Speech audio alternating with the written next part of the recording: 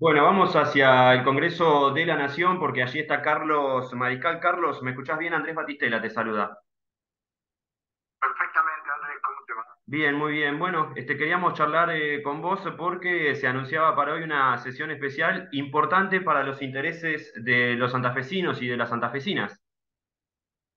Sí, seguramente, y bueno, en este momento se está desarrollando la misma. Entonces, ahora está haciendo uso de la palabra el diputado Luis Di como un hombre del punto Somos Río Negro. Y están tratando precisamente el proyecto que les interesa a la provincia, en este caso, que tiene que ver con el fortalecimiento de la justicia penal federal en la provincia de Santa Fe. Esto, Carlos, eh, por lo que se nos informaba, tenía el consenso de todas las fuerzas políticas representadas ahí. Seguramente, seguramente había un preacuerdo ya antes de la sesión en que la mayoría estarían Ujú. Bien, este, ¿qué, qué nos podés contar de, de- de lo que estás viendo por ahí, de lo que se ha escuchado hasta ahora y también saliendo de este tema, si querés, eh, porque bueno, en lo político el renunciamiento de, de Mauricio Macri a una candidatura seguramente agitó un poco las aguas. Sí, seguro. Sí, Santa Fe, una de las palabras eh,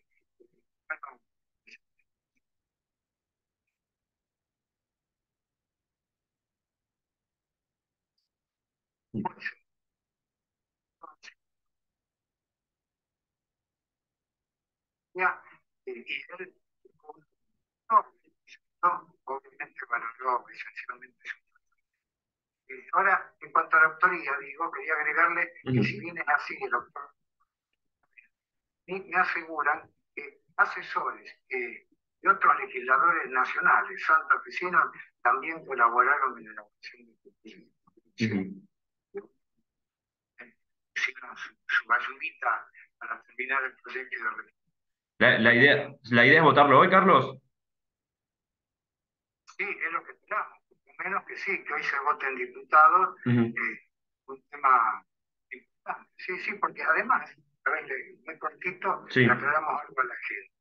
Eh, no es que, ojo, no se equivoque la gente, que no es que ahora, a ver, los diputados votan esto favorablemente y ya en pocos días más empezamos a nombrar jueces, fiscales y defensores federales en Santa Fe, inclusive un paso que puede sonar extraño, un juzgado también federal en San Nicolás, provincia de Buenos Aires. ¿Por qué? Porque está casi en la zona límite con nuestra provincia y por lo tanto también ahí llegan varios casos de justicia federal atinentes al sur de nuestra provincia. claro. Pero no es así. Mueve esto Ujú. Luego empieza toda una tarea eh, eh, en el Consejo de la Magistratura, eh, a partir de comenzar allí a elaborar, a analizar, evaluar eh, el listado de candidatos que convoca el Poder Ejecutivo Nacional. Claro. No, para esto, obviamente, además del Ejecutivo Nacional, fuerzas políticas de la provincia de Santa Fe en su totalidad, esperemos que sea así, eh, también irán evaluando a ver a quién hay que proponer y a quién no. Suponemos. claro. De cualquier manera, el Ejecutivo tiene que presentar una lista y después se analiza en el Consejo de la Magistratura. Y una vez que el Consejo de la Magistratura eh, decide, eh, eh, los candidatos, los nombres están para la ejecutiva del Senado. Y el Senado tiene que analizar en reuniones previas a su tratamiento en el recinto, candidatura por candidatura. Generalmente el candidato a juez o a fiscal se tiene que hacer presente en una reunión de la comisión del Senado y contestar todas las preguntas que le hagan los senadores presentes.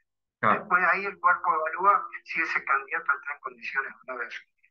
¿Por qué detallo esto? Bueno, porque quiero decir con esto que tampoco es muy el trámite, no es que No. vaya, se hoy y ya está. ¿no? Claro, claro, sí, sí, lleva todo un proceso. Carlos, eh, como para ir cerrando, bueno, ¿alguna apostilla, algún comentario ahí desde el Congreso? Bueno, pues hay que, obviamente, como es la primera sesión después del 24 de marzo, también este,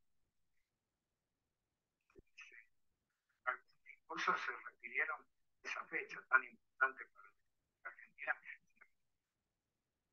Ujú. Pero, además, de nuevo, se volvió a notar este, que puede haber algún acuerdo para tratar temas como este de la justicia federal para Santa Fe, pero cuando llega el momento de las definiciones políticas y administrativas,